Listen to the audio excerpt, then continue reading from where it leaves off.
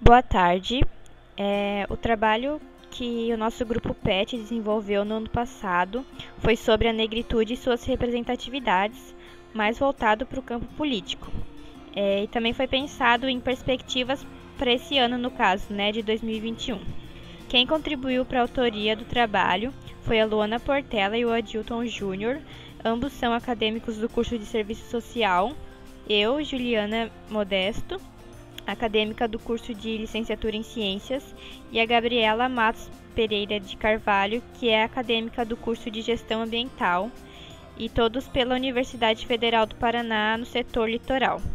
A gente também contou com a ajuda da professora e doutora Liliane Tiepolo, que é a nossa tutora do PET Comunidades do Campo da UFPR Litoral.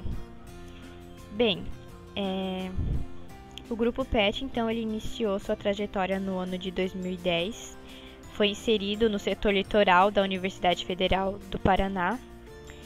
E, bem, a gente, enquanto grupo PET, sentimos a necessidade de chamar atenção para esse assunto por conta de toda, todo o contexto né, de início de pandemia que a gente, que a gente viveu ali no comecinho de 2020 e que permanece, né, até hoje, porque não se tem, ainda não se tem vacina para todos. É, eu entrei no PET em maio de 2020. O grupo já tinha todo um planejamento, né, pensado para o decorrer do ano, que teve que ser todo repensado para o momento de pandemia. Então, as atividades elas aconteceram todas de forma remota, inclusive é, esse trabalho, né, o, é, o evento que gerou esse trabalho. Então, o evento que gerou esse trabalho foi uma mesa redonda que aconteceu no mês de novembro, né, justamente por conta da comemoração à consciência negra, e foi convidado representantes negros atuantes em diversos campos de ação. É, o evento ele contou com a participação da Kiara Camargo, o Dr. Lorival, a doutora Claudimira, a Lilian Soares, a Suelen Soares, o Rodolfo Monteiro e o Aurélio Domingues. É, o objetivo né, do trabalho foi de fomentar a discussão sobre a negritude e suas representatividades e, como eu falei, é, mais é, sobre o campo político, né, no que diz respeito ao campo político, levando em consideração de que nas eleições de 2020 muitas câmaras municipais elegeram vereadoras e vereadores negros, né? Como foi o caso da cidade de Curitiba, que elegeu a Carol D'Artora. Ela foi eleita pelo PT. É, a política eugenista, ela tenta embranquecer a sua população, né? Deixa a população à mercê do relento da morte, né? E houve estímulos para os europeus virem morar no Brasil, diferente de, do que acontece com a população negra, né? Que ia sendo invisibilizada perante a sociedade. É, nas periferias, onde a população negra é a maioria, faltam condições básicas de vida, né? Moradia digna, rede pública de saúde, nutrientes adequados à alimentação, condições de trabalho, né?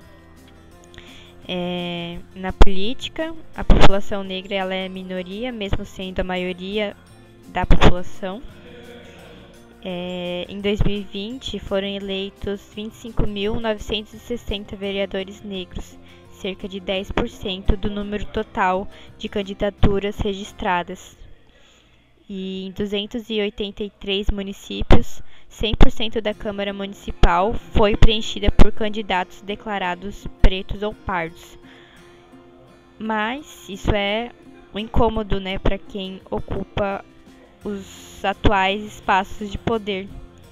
E é por isso que, infelizmente, é, a Marielle foi foi assassinada, né, brutalmente assassinada no Rio de Janeiro, assim como a vereadora eleita em Curitiba, Carol D'Artora, que foi ameaçada por conta da cor da sua pele.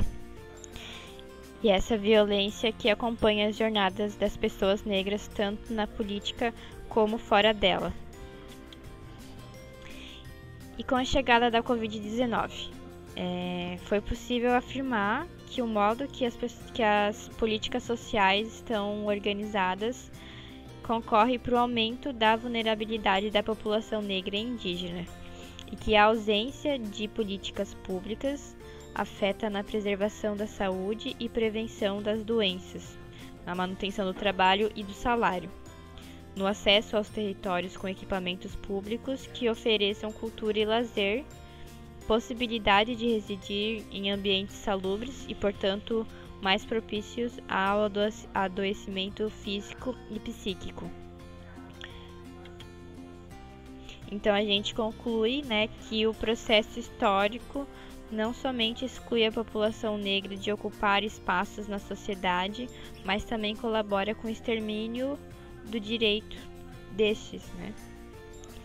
E, e após muita luta do movimento negro, houve a ascensão dessa população em diversos espaços que antes eram negados na academia, em profissões elitistas, na produção cultural brasileira e também na política, entre diversas áreas da sociedade.